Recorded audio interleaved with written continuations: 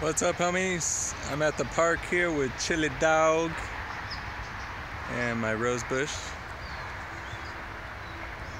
And I took one of the roots away from it. It's called a rhizome. And that's where it was about to come out of the ground at.